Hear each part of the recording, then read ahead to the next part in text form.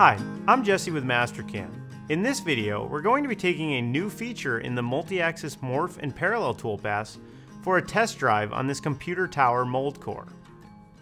This file already has a morph toolpath on this end face. I can select it and turn it on and off by hitting the T key on my keyboard. This is a good looking toolpath and it's something I'd be completely comfortable running on the machine. So let's review some of the selections that go into its creation.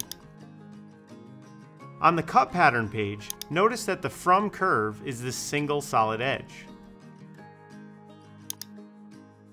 The to curve is this partial solid chain along the bottom of the face. This is a typical use case for a morph toolpath, and it's possible to run into problems with the cut pattern in situations like this. But don't worry, there's a lot that Mastercam 2021 can do to help. If I wanted to extend this toolpath off the surface edges, I can do that on the cut pattern page by turning on Extend Trim. On the Extend Trim subpage, I'll specify a value of 15 millimeters.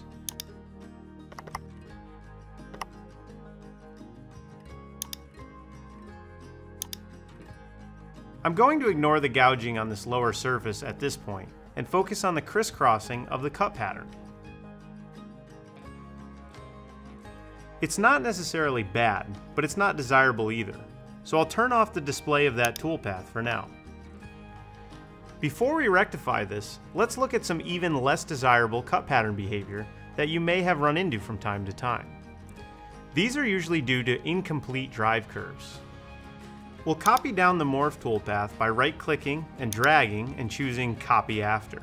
On the second view sheet, there are some blue wireframe entities visible. I'll go into the cut parameters again and use these wireframe entities to drive the cut pattern. The top blue curve will be the from and the bottom blue curve will be the to. Since I've selected these, I'm going to make sure to turn off Extend Trim before regenerating.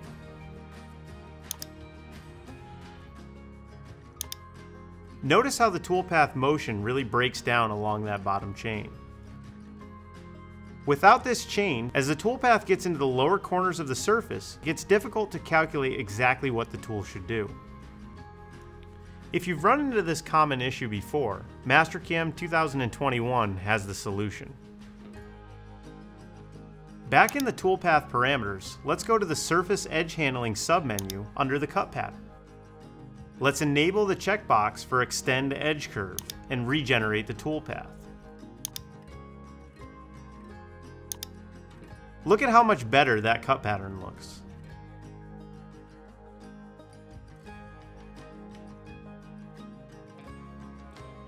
Let's take that one step further and turn extend trim back on with that 15 millimeter extension.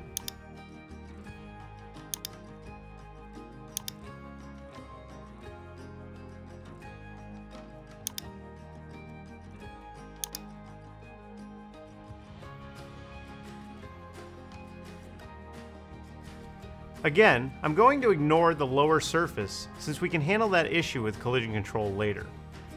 I really want to focus only on the cut pattern at this point. For reference, let's turn the original morph toolpath on as well. Look at the difference. This simple checkbox has an astounding effect on cut pattern and overall toolpath quality.